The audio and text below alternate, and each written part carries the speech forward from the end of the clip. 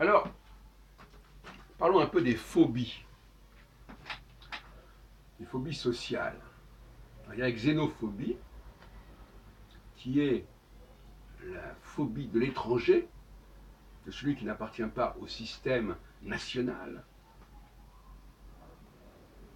Alors on parle d'un populisme de droite, populisme qui euh, fustige des éléments perturbateurs qui viendraient de l'extérieur. Mais il y a une autre, phobie que j'appellerais la kyriophobie, c'est-à-dire la phobie du, Seigneur. On pourrait aussi l'appeler la, la masterphobie, enfin bon, peu importe, mais je préfère le mot grec kyrios qui veut dire le Seigneur. La kyriophobie, c'est celui qui refuse qu'il y ait des gens au-dessus de lui. C'est le, populisme de gauche. Il y a une certaine classe sociale qui ne veut pas, qui ne tolère pas qu'il y ait au-dessus d'elle une autre classe sociale. C'est un peu la problématique, la, la pathologie des gilets jaunes. Donc j'appellerais ça la curiophobie, qui est aussi grave, peut-être même plus grave, que la xénophobie. Et ça correspond aux deux populismes, c'est-à-dire aux deux extrêmes. Alors qu'au centre, eh bien, on a, l'entropie centriste, qui, elle, n'a pas de phobie, sinon peut-être la phobie des phobies,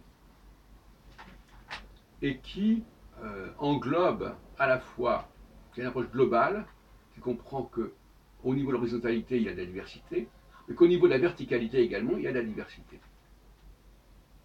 Et que tout cela doit être équilibré, et qu'il n'y a pas à supprimer ou à nier l'intérêt de ce qui n'est pas euh, notre petit monde national, ni à nier ce qui n'est pas notre petit monde social, de telle classe sociale, qui euh, rejette tout autre processus.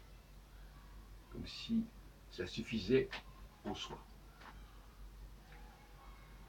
Voilà donc ce terme de cryophobie qui va désigner le gauchisme, qui va désigner des gens comme Étienne Chouard, qui sont des gens qui ne n'arrivent même pas à supporter qu'il y ait des gens au-dessus qui prennent des décisions.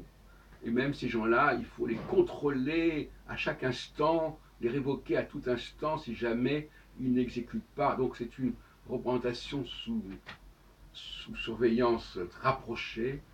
Et ça, ça relève aussi de la xénophobie, comme par exemple, on pourrait dire aussi le xénophobe veut bien les immigrants, mais sous contrôle, euh, dans des camps, etc.